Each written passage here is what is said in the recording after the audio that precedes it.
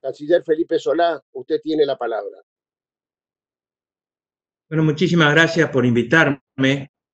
Muchas gracias al presidente de la Cámara, mi amigo y compañero Sergio Massa, y muchas gracias por sus palabras. Sergio, muchas gracias por tus palabras. Eh, quiero decirles que para alguien que ha estado muchos años en la Cámara, demasiado tal vez, eh, es un gusto estar aquí con ustedes. Lo siento como una reunión política, una reunión más de tanta que hemos tenido. Y bienvenido al debate sobre un hecho que a todos nos conmociona muchísimo, para todos es una, una enorme novedad, lo estamos viviendo como algo que nunca esperamos vivir en nuestra vida, a lo mejor, este, y que la única, eh, la única, digamos, novedad que tiene que no es un hecho argentino, es un hecho absolutamente internacional y mundial. Y al mismo tiempo, nosotros podemos tomar medidas, se han tomado medidas importantísimas, podemos defenderlas, podemos mantenerlas, podemos revisarlas, pero sabemos que eh, es muy importante también lo que pasa en el mundo con la enfermedad, lo que siga pasando en el mundo en cuanto a, digamos, el avance este, y el, grado de, virulencia de la enfermedad.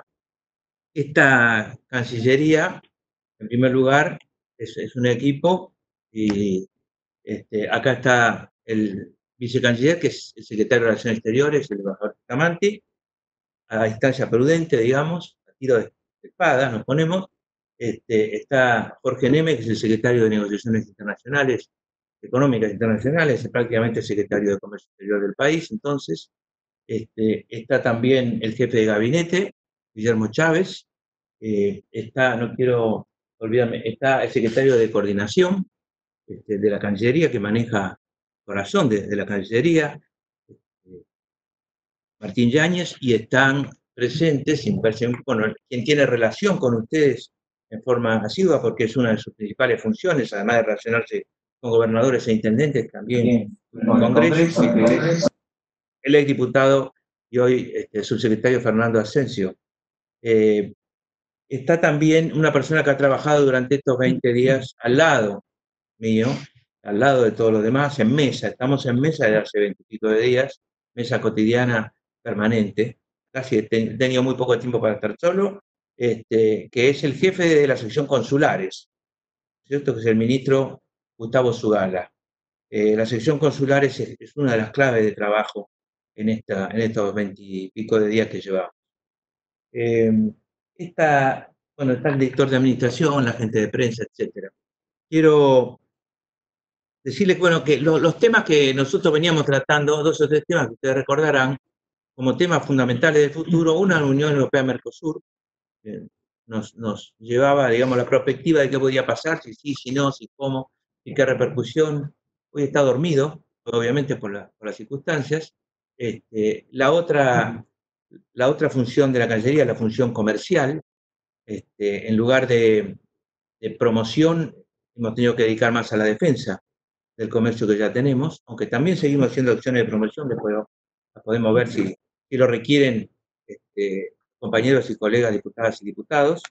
Eh, y la tercera es el relacionamiento con el exterior, obviamente, que es, em, digamos, nuestra estrategia para América Latina, nuestra estrategia este, dentro de la negociación con la deuda con Estados Unidos, nuestra estrategia con, con la Unión Europea, em, la participación de Argentina en el grupo de contacto, que es el, el, grupo así llamado entre algunos países latinoamericanos y la Unión Europea para la cuestión Venezuela, este, y demás, demás cuestiones que también dejo sobre la mesa por si los señores, digamos, los, compañeros, compañeras, colegas diputados quieren hablar de eso, no hay ningún problema también, obviamente.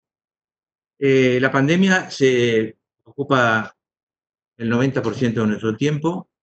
Eh, empezó para nosotros como con algo que, estamos muy conformes de haberlo hecho. Puede ser mejor o peor, pero tomamos rápido una decisión nosotros, que fue que todos los consulados, eh, alrededor del 10-12 de marzo, no me equivoco, el 10 o el 12 de marzo, todos los consulados de, que tiene la Argentina en el mundo hicieron una lista de argentinos que querían volver a la Argentina. esa lista estaba estrictamente hecha de mayor a menor por fecha en la que tenían pasaje de vuelta, cualquiera fuera la línea en la que tuvieran pasaje. Esa lista podía ser alterada en su, en su, este, en su numeración solamente por lo que llamamos vulnerabilidades, argentinos o argentinas vulnerables.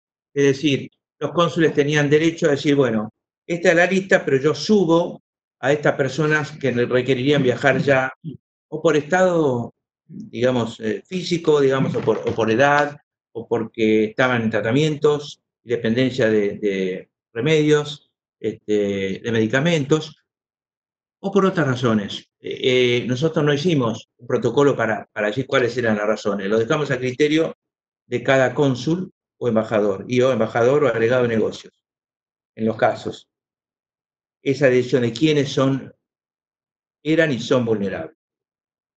Esa lista eh, fue muy, muy, muy, muy cambiante en todos los casos. Es decir, salió mucha gente hacia la Argentina y, eso desagotó mucho, muchas listas de países y se fue incrementando básicamente con, por dos razones. En primer lugar, turistas que se dieron cuenta tarde de que estaban en un problema para volver.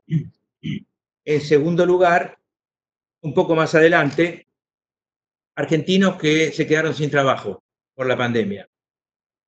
Dos clases de argentinos que se quedaron sin trabajo. Los jóvenes que hacen lo que se llama work and travel, que es una especie de semi-vacación trabajando, que ocurre, por ejemplo, en la Riviera Maya, ocurre con, los que estaban, los que se fueron a la nieve a Andorra a trabajar. Ellos a lo mejor son más profesionales todavía, no tan jóvenes, este, pero también están trabajando en, en, cuestiones vinculadas a la gastronomía, etcétera, en esos lugares de turismo. Eh, en Tailandia, en, este, en, el sudeste asiático, en Oceanía, en Australia, en Nueva Zelanda, hay muchos jóvenes, había muchos jóvenes, por suerte está desagotando bastante, pero quedan. Y después están los casos del, turismo un poco más, barato diariamente, que es América del Sur, mochilero, por ejemplo. Este, tenemos ese problema específico que, para mí es uno de los problemas más, más complejos, pero que le hemos encontrado la vuelta en zonas como Perú, Ecuador, en menor medida Colombia, algo en Bolivia, este, algo en Chile.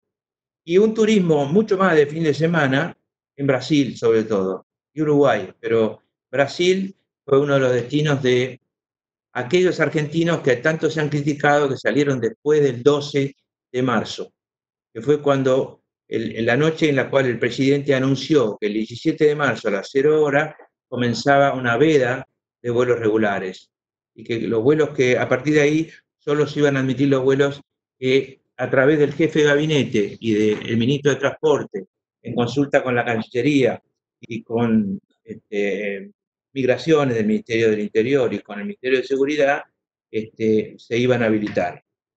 Para lo cual, primero tenía que haber un pedido de una línea, inmediatamente teníamos que intervenir todos los demás.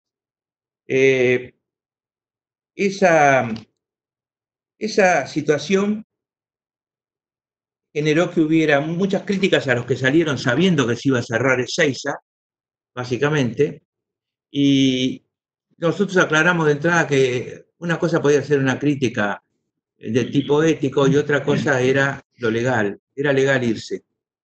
Por lo tanto, desde el punto de vista de nuestra actitud frente a, los demás, no, podíamos discriminar. En todo caso, podíamos discriminar por pasaje de fecha, fecha pasaje de vuelo. Pero no más, no hay más allá. Si me quedan algunos minutos, les diré que eh, voy a decirles un, panorama rápido.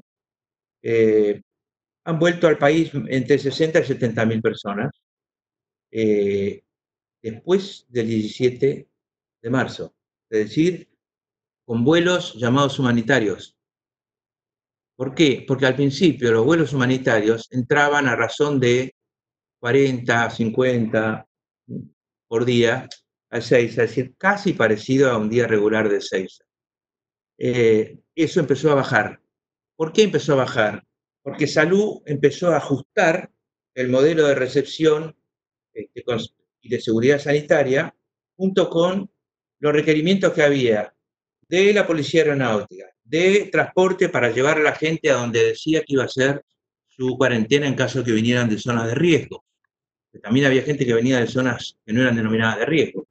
Este, empezó a ajustarse también eh, la cuestión de seguridad en general y la logística. Y la logística. Entonces, en el ya tenían que trabajar varios ministerios. Eh, el ajuste fue determinando que cada vez nos permitiera salud, que es quien tiene la última palabra en todo esto, ajustamos todos a, los requerimientos de salud, a la posibilidad de control sanitario, eh, se fueron reduciendo. En un momento dado una reunión en la que se habló de 700 personas por día, 350 de zonas de riesgo, 350 de zonas no consideradas de riesgo. Eso fue ajustado inmediatamente por salud a una cifra mucho menor, que es la que rige actualmente. 300 personas por día en el 6. Eh, hemos tenido ingresos de, en frontera terrestre, sin duda alguna, sobre todo de Brasil, eh, uno, uno un poco problemático en Foz de Iguazú y otro que se fue drenando, este, por suerte, en Paso de los Libres Uruguaya. Eh, hemos tenido algunos problemas en la frontera con Mendoza, porque el gobernador no quería que entraran, y en la frontera con Jujuy donde el gobernador tampoco quería que, entraran. Debo decir que no son los únicos gobernadores que cerraron su, provincia, también hay otras provincias que lo han cerrado. Menciono ellos porque son este, limítrofes y con lugares donde había algún movimiento. El comercio internacional siempre fue abierto, de, todos los decretos de necesidad y urgencia, no se, no se modificó, y sin embargo encuentra trabas porque al pasar una carretera por un pueblo, a veces el intendente dice acá no entra nadie. Y una de las características históricas de los pueblos es que le piden a sus jefes, a su intendente, y hasta a sus gobernadores, y hasta a sus presidentes, que antes que nada los. ¿Cierto? La palabra cuidar está ahora muy ampliada en la concepción, en el inconsciente y en el consciente de las personas en la pandemia. Por lo tanto, el mejor es aquel que, me, más me cuida. ¿Y de qué me cuida? De la pandemia. Por lo tanto, los intendentes y, algunos gobernadores tienden a tomar medidas que no son constitucionales, pero que son apoyadas absolutamente por sus pueblos localmente. Bueno, eso generó algunas trabas que por suerte no han, no han detenido el comercio, hemos destrabado uno por uno, como se hace en estos casos, hablando con gobernador, intendente, etcétera, con el ministro del Interior, etcétera. Este, hemos destrabado esos casos porque es fundamental que Argentina siga teniendo ingresos de divisas. Es fundamental que miremos el comercio, es, fundamental que tengamos un ojo ahí, sobre todo en este, dada la función de, esta casa, ¿no es cierto? que es doble.